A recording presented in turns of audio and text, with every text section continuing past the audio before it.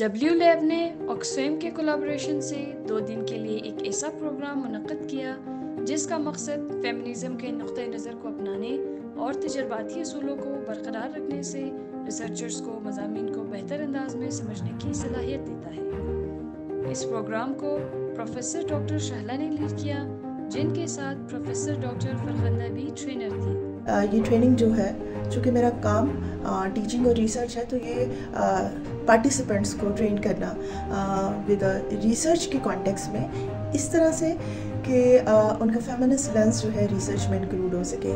क्योंकि main stream research जो है वो आ, मेरे ख्याल में मेल स्ट्रीम रिसर्च है जिसके अंदर आ, जो कि कंडक्ट की जाती है मेल्स के साथ और मेल ही आ, उनके साथ करते हैं। आ, लेकिन जब मैं इसको फेमिनस लेंस के तौर पे देखती हूँ तो इसके अंदर हम एक्सपीरियंसेस ऑफ़ वेमेन के इंक्लूड करने की बात करते हैं और माशरे में जो दूसरे मार्जिनलाइज ग्रुप हैं उनको इसके अंदर इंक्लूड करते हैं। फेमिनिस्ट रिसर्च रिसर्च के बाइसिस को भी एड्रेस करती है।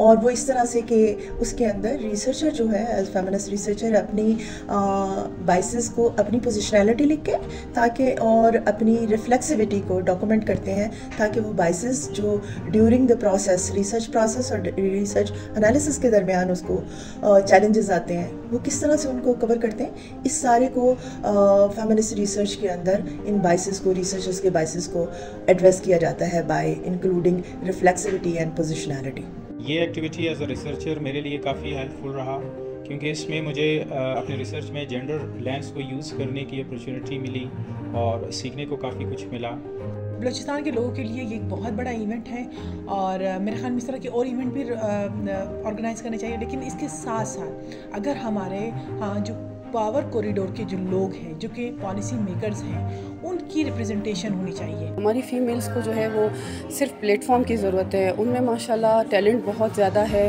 और वो हमेशा चाहती थी कि उनको कोई प्लेटफॉर्म मुहैया हो। हमारी ऐसी ऑर्गेनाइजेशन जो स्पेशली फ़ीमेल्स के लिए काम करती हैं मैं उनका तहे दिल से शुक्रगुजार हूँ। इसके अलावा निगरान हुकूमत की adviser to C M Miss Shania Khan ने चीफ गेस्ट के तौर पर शिरकत की और पार्टिसिपेंट्स को सर्टिफिकेट्स और तहाइफ दिए। फेमिनिज़म का नुक़ नज़र रिसर्चर को ताकत के ढांचे, तसबात और तहकीक में अदम तोज़न का जायज़ा लेने की हौसला अफजाई करता है और शमूलियत को फ़रोग देता है। Maryam Hussain wonders of shutter S P के कोयटा